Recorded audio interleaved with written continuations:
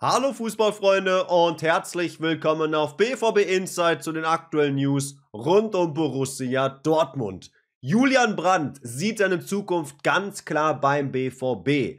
Ungeachtet der Meldungen, dass Dortmund an einem Verkauf im Sommer durchaus interessiert sei, betont der 25 im Interview mit der Watz, ich beschäftige mich momentan nicht mit Wechselgedanken. Ich habe immer noch extreme Lust auf diesen Verein und denke nicht, dass meine Zeit hier zu Ende ist.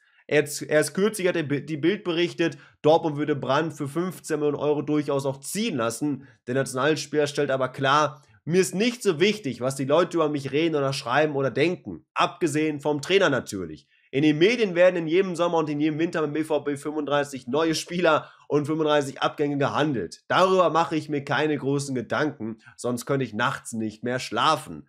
Brandt habe unterdessen das Gefühl, dass sich hier etwas extrem Gutes entwickelt mit dem Trainer, seinem Team und den Jungs, die hier spielen. Zuletzt war ja Brandt auch wieder wichtiger geworden, konnte vier Scorerpunkte in den vergangenen beiden Partien auch verbuchen. Der Offensivspieler sagt, natürlich kann im Leben vieles passieren und die Dinge können sich schlagartig ändern. Aber für mich gibt es keinen Grund zu wechseln. Ich fühle mich wohl in Dortmund und habe hier noch ein bisschen was vor macht Brandt auf jeden Fall nochmal deutlich, dass er unbedingt bei Dortmund bleiben wird und auch möchte. Und sicherlich ist das auch das aktuell die wahrscheinlichste Variante.